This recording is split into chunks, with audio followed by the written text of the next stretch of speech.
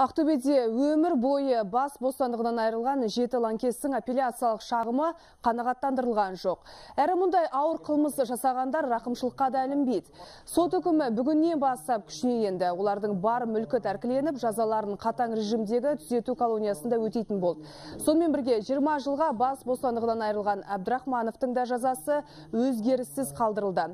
Ал 22 жылға сотталған Жұбанов сот үкімін қайта қарау жөнінде шағым түсірмеген. Шабуыл туралы құзырлы органдарға хабар бермей, қылмысты жасырып қалды деп айыпталған қалған сотталушылардың апелляциялық шағымы қанағаттандырылып, рақымшылық туралы заң ескеріліп, мерзімдері қысқартылды. Жалпы 201 томдық қылмыстық іс бойынша 29 адам жазаға тартылған болатын. Сот алқасының қаулысымен Қазақстан Республикасы қылмыстық кодексінің 432, яғни қылмысты жасырып қалу, 434 яғни қылмыс туралы хабарламау баптарымен тек 19 сотталғандарға қатысты сот үкімі өзгертіліп, сотталғандардың жаза мерзімінің өтелмеген бөлігінің төрттен бірі қысқартылды.